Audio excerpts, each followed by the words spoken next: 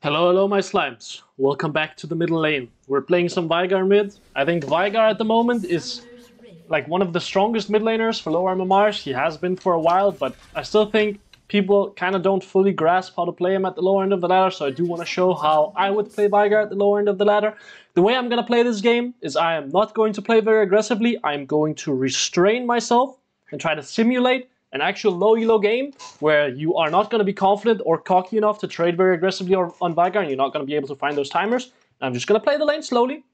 not going to do anything crazy. Just going to farm my Q stacks. And then when we get into the mid game, I'm going to show you guys that you can navigate the mid game without having a crazy lead in the laning phase, which I usually get in Smurf commentaries, and still win the game by just playing mid game well and doing well in fights.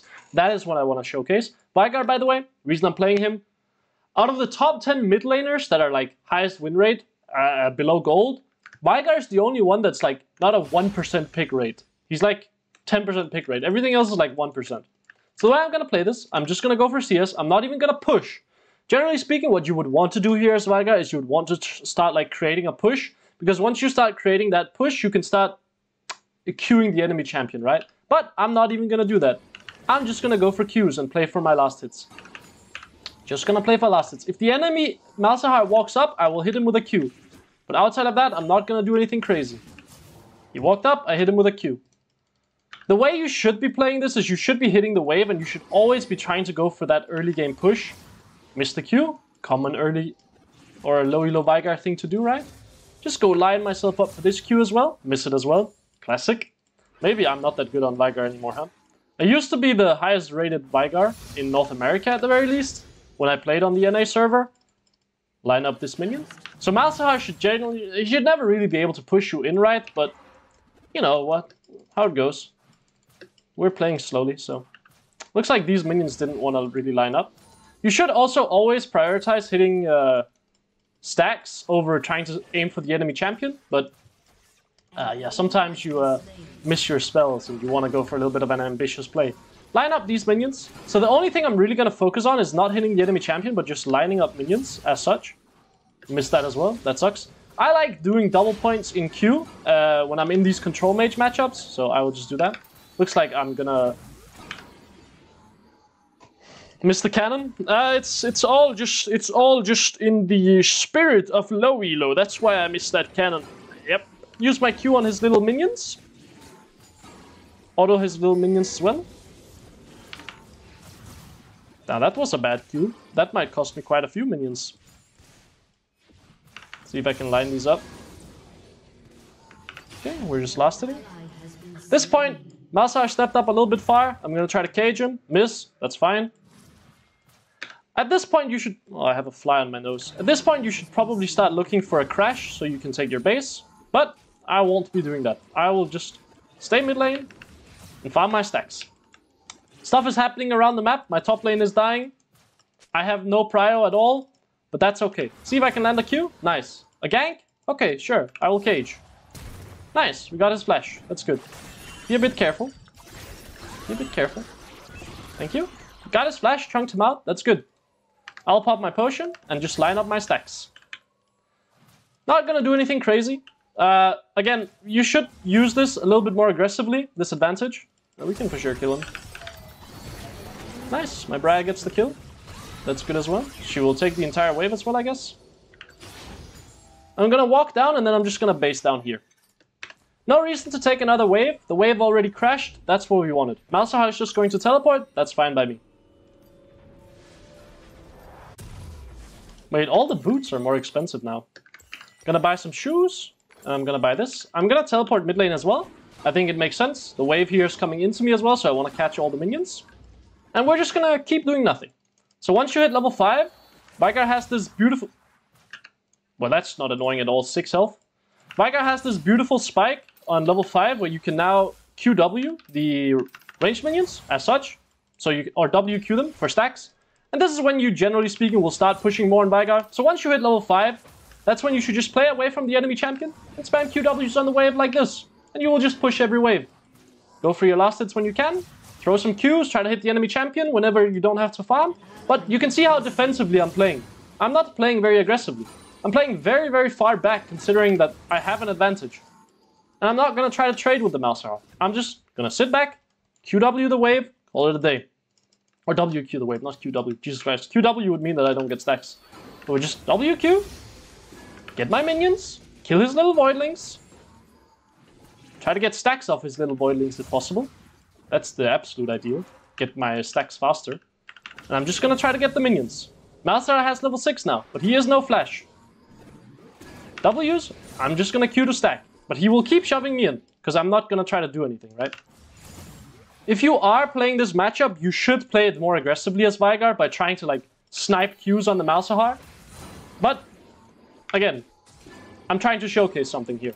trying to showcase that you can win the game just by doing this. Give a minion, that's fine. Try to not get uh, the E on us. My bot lane is winning. I only went for the minion there, by the way. I was not aiming for the Malzahar. Try to get my minions here. Someone pinked this. Is that Malzahar? Sure do hope it was Malzahar. If not, I'm dead. Ah, it was Malzahar. Fantastic. He could be basing here for Lost Chapter. But that's fine. We will just push out the wave.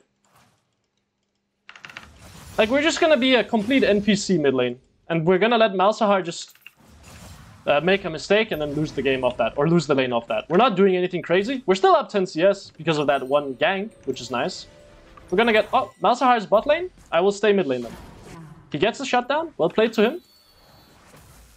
We want to make sure that he bleeds off of that.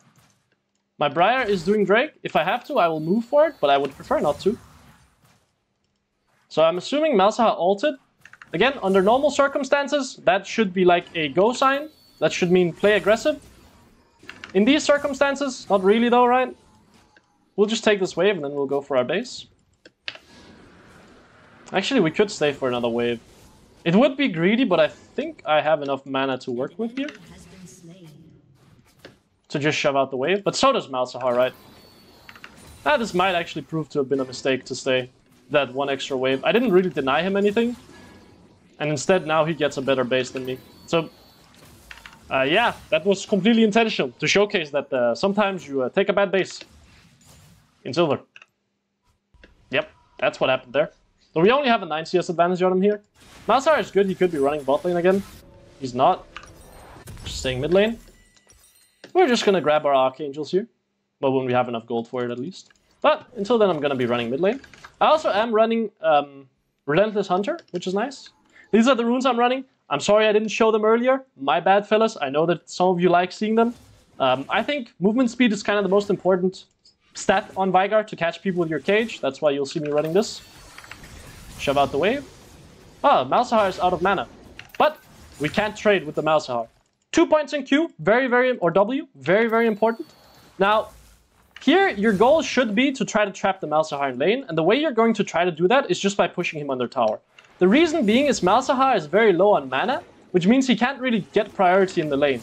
He's out of mana completely. So I'm just gonna shove the wave, and then when the wave is fully shoved, I can like try to hit the Malzahar a little bit. Push him under tower and just try to take plates and hit him a little bit. This is one of those moments where now I should be so much stronger, like obviously, that lower MMR players can see that this is like a massive advantage as well, is what I would like to believe.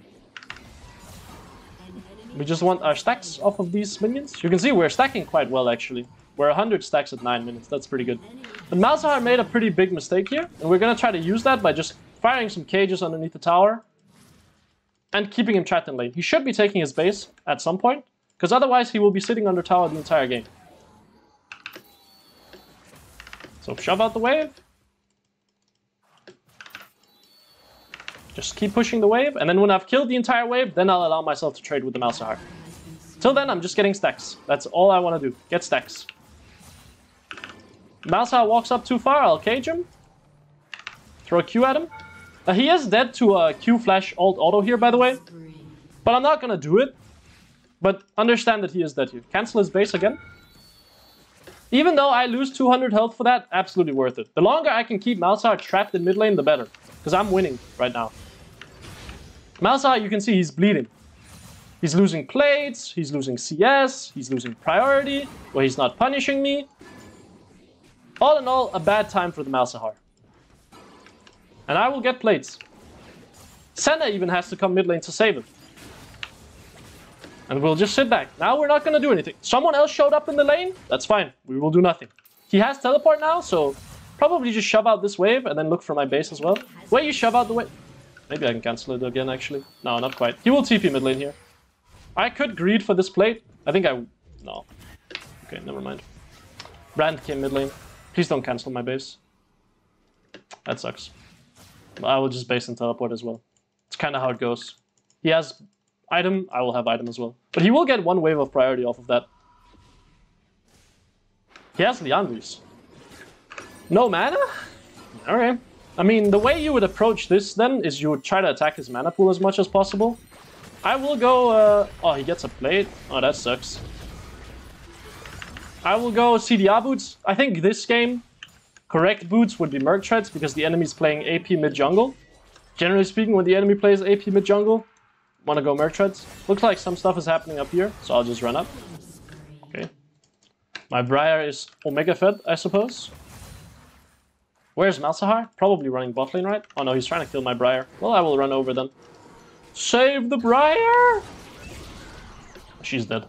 Absolutely dead. Well, three points in W is the general rule, I think. Unless you're stacking very well, then you can do two points.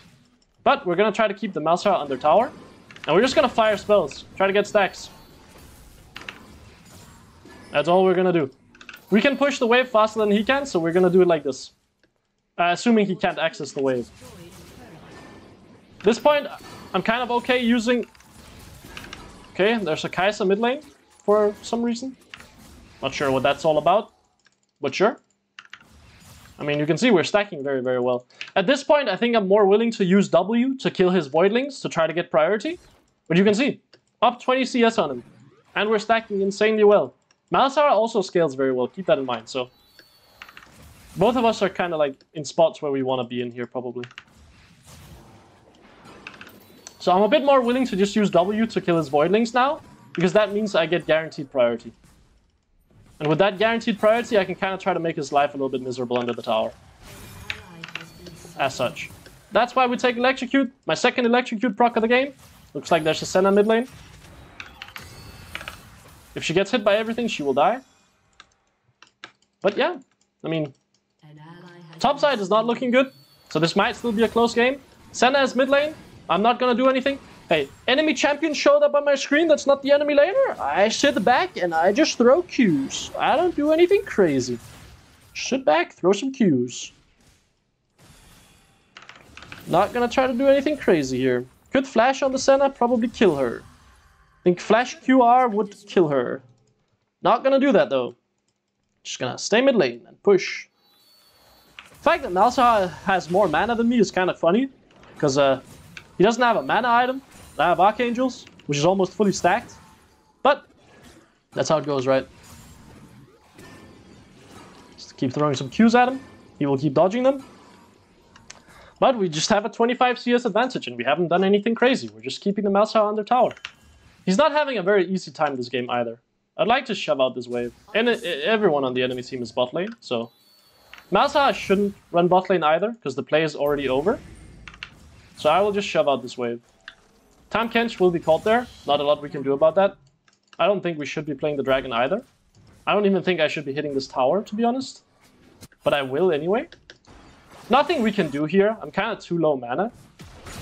So I will just take the tower instead. We will probably all die here, but I can't really benefit that fight at all. Now I can maybe help. But Briar is probably already dead.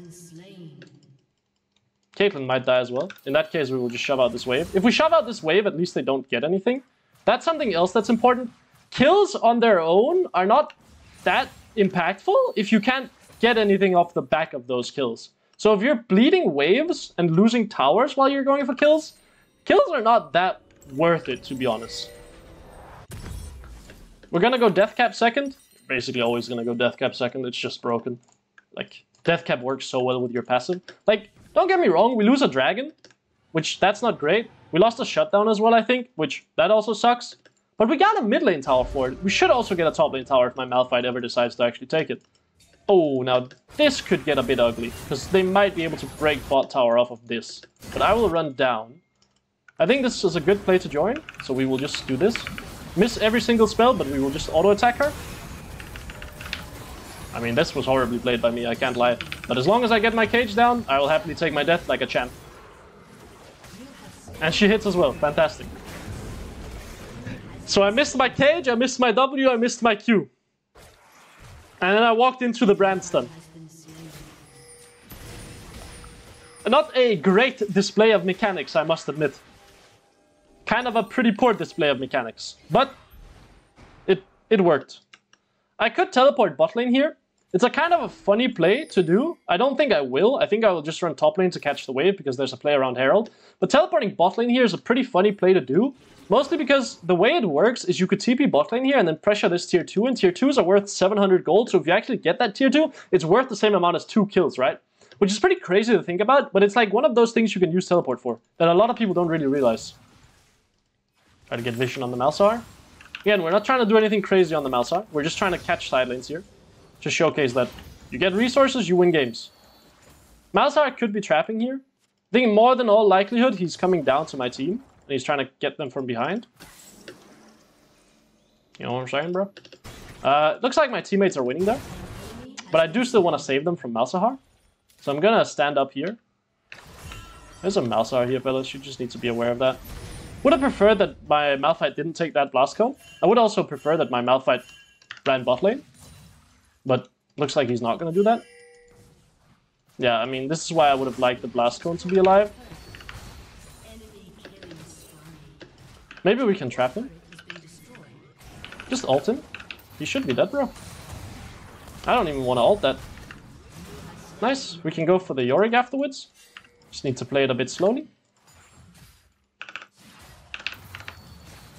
I mean, I'm hitting my spells, but uh, I don't know if I have damage to kill him, to be honest. Malphite is coming up. Maybe the slow will be enough for me to line up more spells.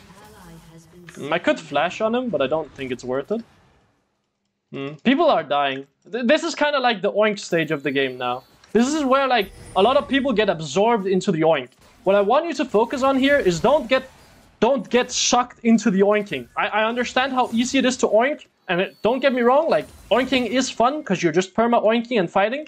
But the way to win the games is just by getting resources and taking waves. And then after you've taken the wave, then you can go do stuff. For example here, realistically I should run up here and help the boys. But instead I'm gonna stay mid lane and just get the, get the resources and then I'm gonna go help the boys afterwards.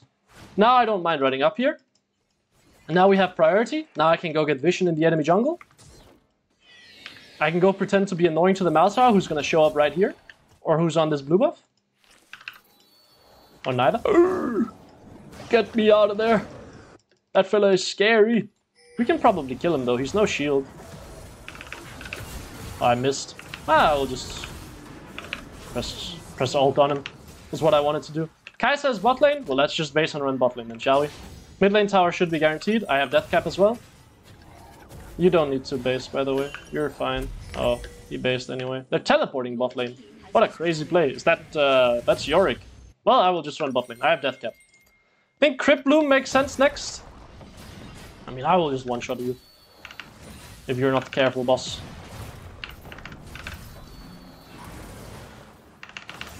But I mean, I can also just miss everything. Don't really want to waste my ult. Don't get the kill, that's fine. Now where can we get resources? Look at the map. Don't oink. Don't oink and go down to this wave. Don't do- I know you want to do it. Don't do it. Don't oink. Because someone is already taking this wave. Mid wave. Oh, ah, that looks good. There's some mid wave. Oh, let's push out mid lane then. And then we can maybe transition that to a top lane play. Now, don't get me... Like, Caitlyn should be bot lane here. Because she ran bot lane. She wanted to oink some, some stuff bot lane here. But we're going to push that out. And then we're just gonna take control over where we want to play around. What do we want to play around? We want to play around the dragon. Okay, we're gonna take control over this bot side then. Then we're gonna see if we can land a cage. This guy is dead. Goodbye. Don't need to do anything crazy. We just walk into push wave, walk into enemy jungle. Nice. Look at how far ahead we are in CS. Have I done anything absurd this game? Have I stomped my lane? Have I done anything crazy? No. I've just taken wave get gold, win game. Now, don't. I mean, my bot lane is also winning, which that's just awesome. But my top lane is getting absolutely blasted, and they're still oinking, by the way. They're still inting, so it's not like it's something crazy. Like, even if they were losing, we would be completely fine. See if we can save the Kench here, because there's nothing else for us to do on the map. Looks like he will flash out, that's fine. Well then look at the map. Resources, where do I need to defend? Is there anywhere I need to defend? Is there anywhere I can get resources? Just poke him a little bit. I'm not trying to kill him. I could kill him there if I wanted to waste my flash to flash ult him. Don't think it's worth it. So instead, we will just go mid lane. Defend the tower. Miss the cannon minion. Again! Malphite is flying out. I could flash altar. Would be a very funny play, wouldn't it? I'm not gonna do it. Someone is on this. I just heard like a loud ass sound. I mean, Yorick will die. Yeah, I mean, I don't even have to ult him. Look at how strong I am. I'm one-shotting the enemy team. One-shotting the enemy front line. I'm not getting a, an absurd amount of kills. Oh, the Kai'Sa is dead as well. Dead as well.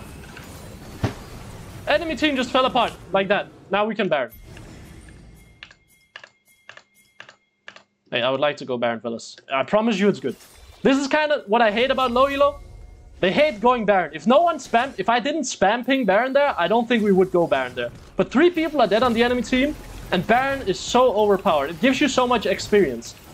For lower MMRs, you're not really going to be using the Baron buff that well to get towers on the map and to get priority and really bleed the enemy and balloon the goal lead. That's usually not what happens. But the Baron gives a ton of XP, and the Baron gives you a lot of gold as well. So that's why it's so strong at lower MMRs. At higher MMRs, it's strong because, well, you take Baron, you basically secure all inner towers with a Baron, which, like I said earlier, inner towers are worth like 600 gold, so they're worth a lot of gold. want to push this wave and then take my base. Need to make sure I'm not getting ganked. Mostly because... Not quite enough for Crypt Bloom. I can sell my Dorans.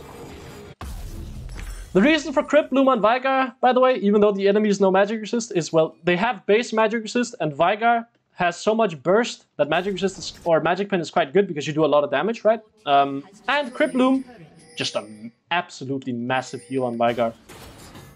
Oh, it looks like I need to teleport because we have a fight here. I could teleport to this, would probably be a bit smarter. But we're just gonna teleport and we're gonna see how we can play this. Okay, maybe I can kill the Brand. Miss my spells. Okay, we will just play it a bit slowly. Throw my spells down.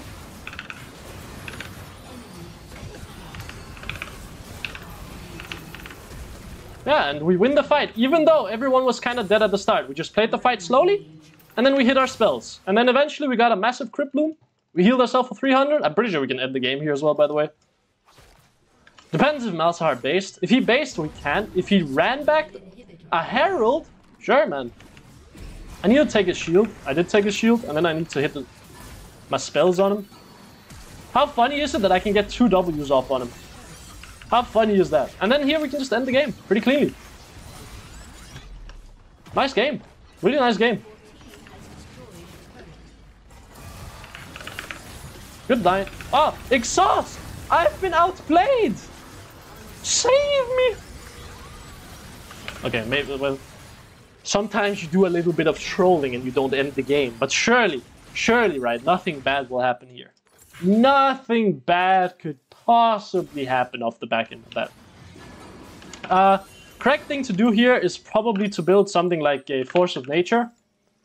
Movement speed. I have enough damage to one-shot anyone on the enemy team. Movement speed is a valuable stat on Veigar. So Winged Moonplate is very good. Like I said earlier, movement speed, your most important stat. Why is movement speed your most important stat? Because, well, that's how you take people, put people in cage. Put people in cage, press W on people. W hit people, people die, you know? And the thing about it is people died. So that's why uh, that's why you would go movement speed. Deadman's Plate would be ideal against a full AD team composition, but the only ADs the enemy team has is realistically the Senna. Kai'Sa does a lot of magic damage with her passive, her Statikk Shiv, and she's also going to be moving into a Nashor's Tooth here, I would imagine. And they have AP mid jungle as well. So you can imagine Merc Treads here alongside this, um, alongside a, a, Force of Nature, and you can imagine how tanky I would be. And I can throw my cage on this guy. If I hit my spells, he's dead. The thing about it is his, uh, his little minions are blocking it. Wow, boom. Senna, you absolute bastard. That sucks. But we're just gonna play for the Drake. We don't need to play for the Drake. We can just walk down mid lane and end the game, but we're gonna play for the Drake. Which is fine. So we're trying to seize control over the enemy bot side here. That's what we're doing. You need to be a bit careful, Mr. Malphite. Can't lie. My Q doesn't one-shot his little...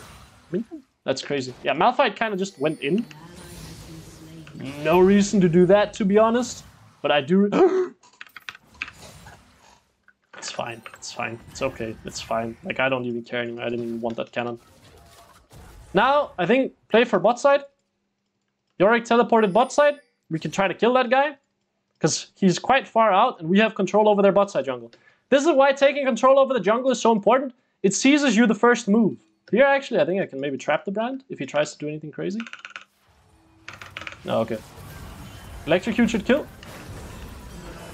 Crypt Bloom, heal me. Senna dies as well. I mean, we could just walk mid and end here, right? I think I'm just gonna... I'm gonna do the funny. I'm gonna do the funny here. Enemy team is not expecting this. Yo, guys! Yo, your base! Yo, Malzahar, the base! Defend it, bro! Uh, that's that's a very funny way to end the game. what a funny way to end the game. Wow. oh, wow. But you can see, highest damage in the game. By quite a wide margin as well, by the way and I didn't do anything early game. I didn't punish the Malsa, I didn't kill the Malsa, I didn't do anything to like brute, brute force trades against him, which I could do to win even harder. I just sat back, did nothing, got my stacks, got my level 9, pressed WQ on the wave, had permanent priority, and then just won the game. Had highest damage in the game, I carried. You could say my Caitlyn got 9 kills, cool. I had 10,000 damage more than her. I was 10 times more useful, basically. But yeah, hopefully you enjoyed and have a good one. See ya.